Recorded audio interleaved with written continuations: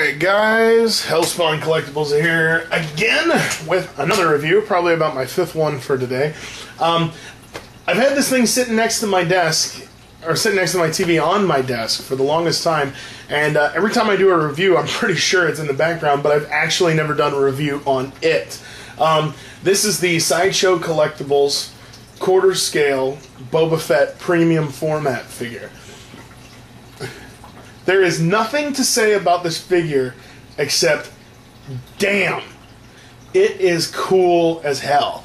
Um, this figure was actually given to me as a Christmas gift from my friend Chuck, the same guy whose uh, Cortana statue I broke, but managed to fix and save for him, um, and actually make it look better, mind you. Um, but this was given to me uh, by him as a Christmas gift, and I'm still much appreciated uh, to him for that, or indebted to him, or whatever word you'd like to use there. Um, this thing is cool. Uh, it, as with all the other premium format stuff that uh, that Sideshow does, it uh, is a molded body with actual clothing uh, dressed to the figure. The armor pieces, the jetpack, the head, um, that's all molded. Um, that's all like plastic or resin or whatever it is that they use for it. But the uh, the cape, all the flight suit, um, the neck ring, and uh, all of that is all um, fabric. Um, these retail. I think when Sideshow first released them, they were about three hundred bucks.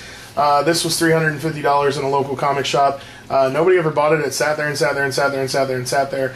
And uh, my buddy just decided to make my year for me by buying this. So, uh, just about as cool as the wife getting me that free Celtic mask from Sideshow. So, um, cool stuff. 10 out of 10 out of 10. This 15 out of 10. They, there's nothing I they, I can't say enough good things about this. Lately, I've seen Sideshow putting out some real crap work, like with the chopper mask, but this is just grade A, 100% awesomeness by Sideshow. Um, the jetpack is separate from the actual figure itself. Uh, there's two there's there's two little hooks on the jetpack on each shoulder, and there's two little loop systems um, on the back here where the jetpack rests in. So you can see there the two little uh, fasteners on there. I don't want to take it off; it is a bit of a pain to get back on. Um, also, all the pockets are all separate. Um, the knee pads are molded, but they're separate too. Shut up! Shut up.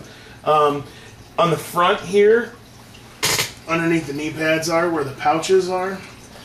All of his little individual tools are in there. So, like, uh, I don't know what the heck you call them. Probably like vibro blades and all sorts of other stuff, whatever they are in the, the Star Wars universe. Um, like picks. Um, over here, there's like this weird looking thing. Come out. Maybe if it wants to come out of the pocket. This thing right here. And then uh, this, I think, is his like tactical knife or something like that. Get it out of the pocket. Come on. Yeah, that looks a lot like a knife there. So um, it's just cool. I mean, no detail has been missed uh, on this thing. Um, even the uh, Wookie braids over his shoulder are there.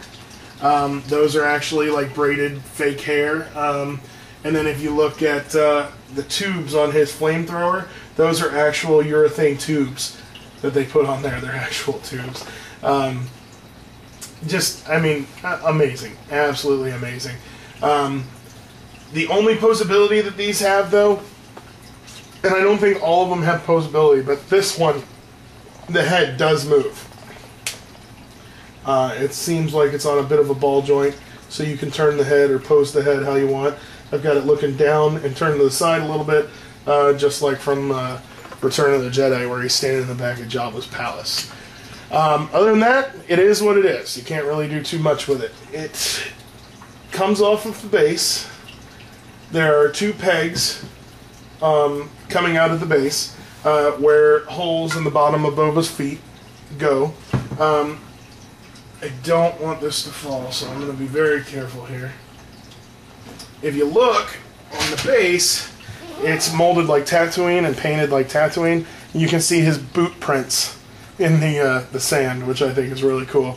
The only thing about it is it does it is kind of chewed up here along the bottom, which kind of sucks. Um, but whatever, you know, it's the Star Wars premium format quarter scale figure Boba Fett Episode uh, Six Return of the Jedi. It's number 1,398 of 2,000. Um, so, this thing is neat. Get one if you can. Um, they do still have some on eBay. Most of them, though, are up in the $400 range now, uh, especially if you get the exclusives. Um, again, I'm going to pick the camera up. I'm going to go ahead and give you a little uh, up close of some of the uh, stuff. You can see the helmet is just amazing. The paint job is just spot on, perfectly accurate. All the way down to the gloves and the weathering on the gauntlets. The Blastech EE3 blaster rifle that he uses. Um, there is weathering on the pockets and stuff. You can see dirt and stuff like that. Then down to his feet there. I'll spin him around for you so you can get a good look at the back. There's the uh, the Wookie braids and the leather belt that he wears underneath there. Uh, the urethane tubes. Oops, sorry, uh, urethane tubes, Wookie braids, and the leather belt underneath that he wears. Um, the jetpack, back of the helmet. There's his cape, all made out of fabric. It's all got holes in it and stuff too. Uh, really cool stuff, man. This thing is just amazing. Anyhow, um, if you like I said, if you have the money to get one, I would definitely pick one up. Um, it is definitely worth the uh, the three four hundred bucks that you pay for it. Um, Fifteen out of ten. Sideshow, two thumbs, way way way, way way way up. Um, keep it up. Hopefully, the Jack Sparrow premium format will look this good. Um, I do have the exclusive on order.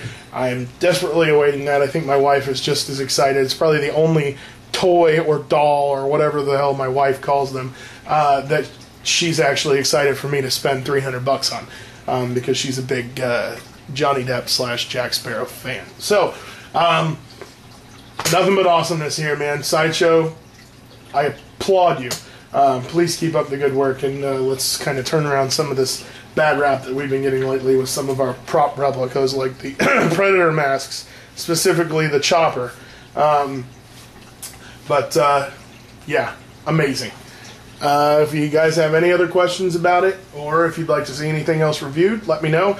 Uh, if you like my reviews, please subscribe and also check out my YouTube channel uh, for other stuff. There's Halo, Predator, Aliens, Pirates of the Caribbean, Transformers, Star Wars, um, you name it, it's all there. So uh, let me know if there's something uh, that you'd like to see, and if I ever see it for a decent price, I'll pick it up and bring it home and review it.